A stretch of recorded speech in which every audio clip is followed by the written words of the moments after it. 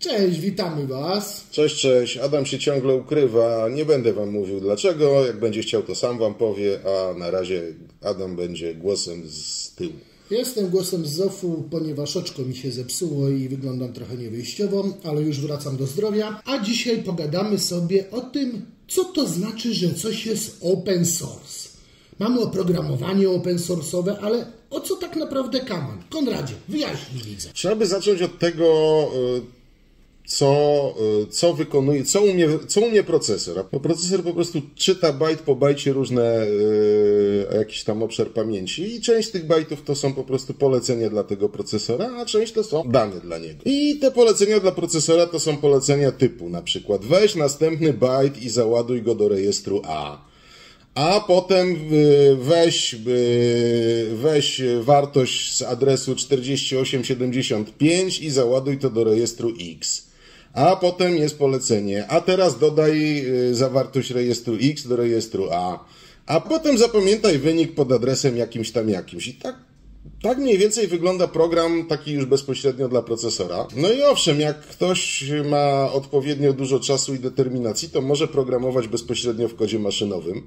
Po prostu musi się nauczyć tych, tych yy, która wartość, które polecenie znaczy i, i heja, i się jedzie. I tak się, tak się robiło za czasów powiedzmy informatyki łupanej. Jeszcze za czasów 8-bitowych yy, komputerków, jak nie wiem, może niektórzy pamiętają, a jak ktoś na przykład zobaczy starą gazetę typu Bajtek czy komputer, gdzie będzie do wklepania program, który będzie miał taką dużą, dużą, dużą listę cyfr. Tam po prostu, tam jest, przeważnie było data i tam cyferki, cyferki, cyferki, cyferki. No to to jest właśnie program w kodzie maszynowym e, dla tego procesora. No i ponieważ to było pioruńsko niewygodne, no to ludzie zaczęli wymyślać tak zwane języki programowania Y, czyli coś, co przypomina chociaż trochę język pisany y, i operuje troszeczkę jakby wyższym poziomem abstrakcji niż, niż adresy, bajty i, i takie różne rzeczy. No i tych języków programowania napowstawało dużo, y, dużo różnych. Y, część sobie umarła, część spadła do niszy, część sobie żyje do tej pory. I w takim języku programowania tak zwanego wysokiego poziomu to na przykład już nie operujemy adresami, tylko operujemy nazwami zmiennych. Możemy sobie definiować różne funkcje, różne operacje po prostu się nazywają powiedzmy po angielsku, a, a nie jak, jakoś tak enigmatycznie. Nie musimy się zastanawiać, jakie tam rejestry ma procesor, tylko po prostu wydajemy polecenie typu na zasadzie dodaj A do B i wynik umieść w C. To, I to jest, to jest kod programu, właśnie tak zwany kod źródłowy. Żeby procesor mógł ten wykonać ten program napisany w języku wysokiego poziomu, to musimy go przetłumaczyć na coś, co procesor rozumie. Dobra, nie wdając się w szczegóły, yy, dokonujemy tego przy pomocy programu zwanego kompilatorem. Kompilator po prostu bierze ten, ten kod wysokiego poziomu, tłumaczy go na język maszynowy i w taki sposób ten przetłumaczony na język maszynowy program, no to jest program tak zwany wynikowy, czyli to, co mamy w postaci tam pliku exe czy, czy jakiegokolwiek innego, który sobie po prostu uruchamia. O co chodzi? Mając ten program, trzymajmy się tego program exe, czyli ten, ten wykonywalny, mamy ten program wynikowy i w zasadzie nic nie wiemy na jego temat. To znaczy, możemy go sobie y, odwrócić proces y, kompilacji tylko do takiego poziomu, że, że możemy y, sobie rozczytać te, te komendy procesora i przeanalizować, co tam, z której, z której komórki pamięci, do którego rejestru i tak dalej, i tak dalej. Natomiast nie jesteśmy w stanie się cofnąć do tego poziomu kodu źródłowego, czyli A, A dodać B równa się C, czy tam C równa się A plus B. I przeanalizowanie takiego bardziej złożonego programu, który mamy w postaci binarnej, jest w zasadzie niewykonalne. Znaczy, można, jakby się ktoś uparł, ale to jest po prostu dużo, dużo, dużo bardziej skomplikowana sprawa niż zrobienie tego y, z kodem źródłowym. I teraz tak, tak jak y, padła już tutaj nazwa, kod źródłowy, kod wynikowy. Kod źródłowy, czyli źródła. W normalnym takim modelu oprogramowania, takiego powiedzmy kupowanego, wygląda to tak, że są jacyś programiści, którzy piszą sobie ten program właśnie w języku wysokiego poziomu, po czym go kompilują i ta wersja skompilowana trafia na rynek, który sobie możemy kupić, zainstalować i używać. Kod źródłowy, czyli źródła, ma tylko twórca oprogramowania, czyli ta firma, która to zrobiła. I koniec. Tylko oni są w stanie ten program zmienić, poprawić, zmodyfikować, coś do niego dołożyć, coś z niego ująć i tak dalej. I o te źródła tu chodzi. W modelu open source dostępny jest zarówno program wynikowy, czyli to, co sobie wykonujemy, jak i źródła, czyli kod źródłowy tego, tego programu. Czasami jest y, dostępny tylko i wyłącznie kod źródłowy, na zasadzie sobie, sobie sam skompiluj po prostu i tyle. Y, I już. Y, co daje nam open source? No, open source nam daje to, że mamy dostęp do tego właśnie kodu źródłowego. Możemy sobie popatrzeć, przeanalizować ten program, co on tam robi. Jeżeli ktoś zna jakiś język programowania, to, to, to może go tam sprawdzić, co tam się dzieje, ewentualnie może coś sobie zmienić i tak dalej, i tak dalej. Natomiast no, w wypadku kodu wynikowego, czyli tego binarnego, to w zasadzie no, nic nie możemy zrobić. Znaczy są magicy, którzy potrafią coś na tym poziomie zadziałać, ale to naprawdę już są magicy i czarodzieje. I nie należy mylić otwartych źródeł z darmowością, bo to są dwie zupełnie różne rzeczy. Może być program, który jest darmowy, a nie ma otwartych źródeł, no bo ktoś miał taką fantazję, że po prostu program udostępnił za darmo, wolno mu. Przykładem na przykład wszystkie darmowe aplikacje w sklepie Google.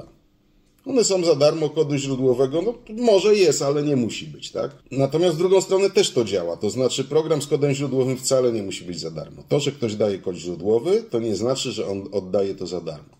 Przeważnie tak jest, to znaczy przeważnie e, oprogramowanie open source jest oprogramowaniem darmowym, ale to nie jest jakby obowiązek. E, na przykład Linux jest przykładem e, i ogólnie oprogramowanie Linuxowe jest przykładem open source, darmowego open source'a. Po prostu możesz sobie Masz źródła, możesz sobie używać za darmo, możesz sobie zmieniać, możesz sobie poprawiać, możesz sobie różne rzeczy z tym robić. Czasami, czasami jest tak, że po wielu, wielu latach firma udostępnia kody źródłowe jakiegoś programu, który stwierdzili, stwierdzili że no, już na tym to niespecjalnie zarobimy i takie coś wychodzi. Zresztą w ten sposób powstał Firefox, bo firma Netscape, która miała taki, taką swego czasu najważniejszą przeglądarkę na świecie, czyli Netscape Navigator, potem Netscape Komunikator się to nazywało. Oni w pewnym momencie przegrali rywalizację z Internet Explorerem i stwierdzili, że a, damy te kody za darmo.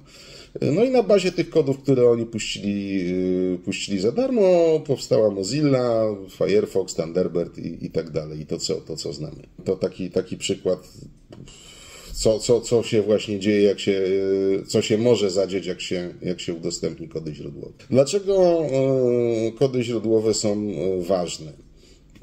I dlaczego lepiej, jeżeli program jest dostępny z kodami źródłowymi? Ano, dlatego, że jest bardzo duża ilość ludzi, którzy mogą sobie w te kody zerknąć. Nawet jeżeli wy się nie znacie na programowaniu, no to wasz kolega się zna albo ktoś inny. W każdym razie w wypadku zamkniętych źródeł tylko niewielkie grono twórców, powiedzmy kilkunastu, kilkudziesięciu ludzi, wie tak naprawdę, co siedzi w danym programie. W wypadku, kiedy program jest na otwartych źródłach, to tych ludzi, którzy wiedzą, co w tym programie siedzi, jest parę tysięcy albo i paręset tysięcy, no bo w zasadzie każdy, każdy w miarę kompetentny programista, jeżeli tylko chce, to sobie może tam zajrzeć i się z tym zapoznać.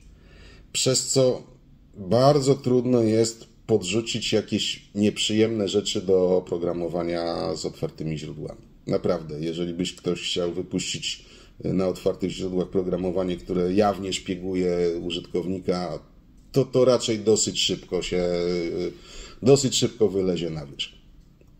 Natomiast w wypadku zamkniętego oprogramowania, no, możemy tylko wierzyć w deklarację producenta. Czyli innymi słowy, open source jest dobre.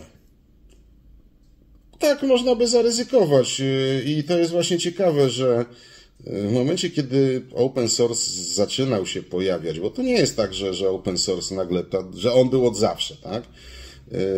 Yy, open source miał długą drogę do przebycia i na początku spotkał się z dużą nieufnością. No, jak to tak, to, to jakieś hipisy, komuna, co to jest, żeby za darmo oddawać swoją pracę, w ogóle to, to, to, to nie, no.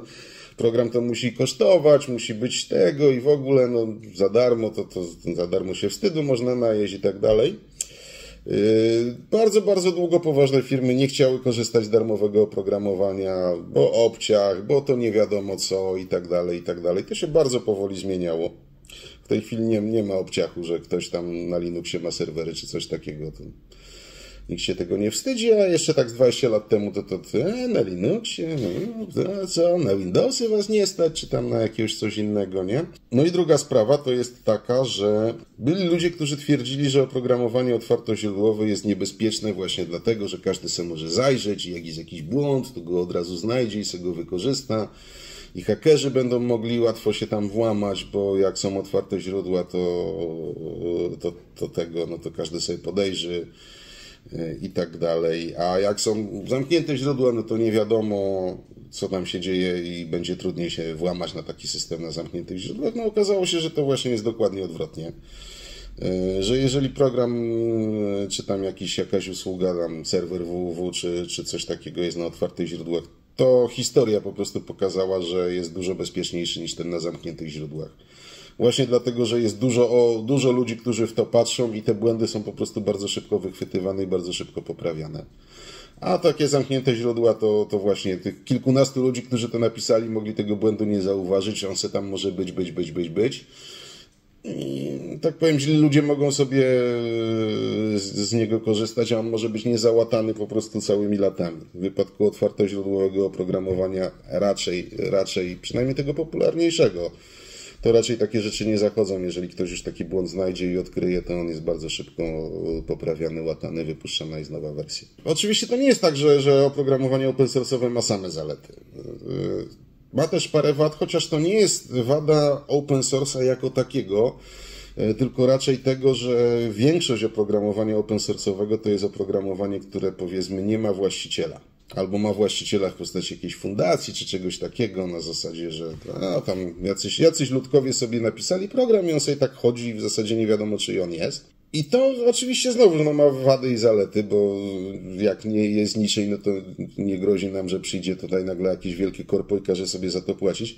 No ale z drugiej strony to często bywa tak, że to program, projekt zaczął jakiś tam student na, na, na czwartym roku i on go ciągnął, a jak potem skończył studia i poszedł do pracy, to projekt umiera. Bywa tak. Wiele programów, open, wiele projektów open source'owych tak skończyło. Jeżeli projekt zostaje przechwycony przez jakąś fundację, na przykład yy, przez fundację Apache Software Foundation, która zaczynała od y, serwera www Apache, a w tej chwili po prostu cała, cała masa programów, no między innymi OpenOffice u nich jest. No to jeżeli ktoś się taki zaopiekuje, y, no to wtedy ten projekt raczej będzie sobie żył i będą poprawki. Natomiast jeżeli to jest jakiś taki no-name bez historii, no to też trzeba uważać, bo możemy po prostu zacząć z tego korzystać i nagle się okaże, że kit.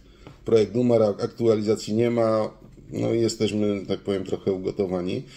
E, druga sprawa w wypadku open source'a to jest przekleństwo, przekleństwo forków. Fork to jest rozwidlenie. Znaczy to, znaczy to widelec, ale ogólnie chodzi o coś takiego, że jeżeli mamy otwarte źródła, to każdy sobie może te źródła wziąć i stworzyć sobie swoją wersję, bo uważa, że on jest mądrzejszy od, od autora oryginalnego, co czasami jest prawdą, ale czasami nie. Bardzo często jest tak, że wśród y, ludzi, którzy pracują nad jakimś projektem, zachodzą jakieś spory, ktoś tam się z kimś nie lubi, ktoś się pokłóci. Powstaje wersja równoległa, czasami dwie wersje równoległe i potem mamy do wyboru trzy czy cztery wersje tego samego oprogramowania i cholera nie wiadomo, którą wybrać. Wspomniany OpenOffice, jest OpenOffice, który jest u Apache, jest LibreOffice, który jest rozwijany równolegle i one startowały z tego samego momentu, w tej chwili są dosyć mocno się już rozjechały. E, taka dosyć, e, dosyć popularna baza danych, znaczy bardzo popularna jak MySQL, to w tej chwili ma chyba ze cztery różne wersje, po prostu rozwijane przez różne zespoły, bo gdzieś tam kiedyś ktoś się z kimś nie dogadał, i, i, paru ludzi zabrało swoje zabawki, poszło do swojej piaskownicy i rozwijało. Więc taki jest problem z open source'em. No, w wypadku, kiedy jest jedna firma, która jest odpowiedzialna za produkt i go rozwija, no to ten produkt jest jeden. Wiadomo, który jest który, nie? Czyli wiecie już, co to w ogóle za czort jest ten open source, z czym to się, jakie są plusy i minusy tego wszystkiego. I cóż, dziękujemy Wam za oglądanie i do zobaczenia, mam nadzieję, że już w komplecie w kolejnych filmikach. Cześć. Cześć.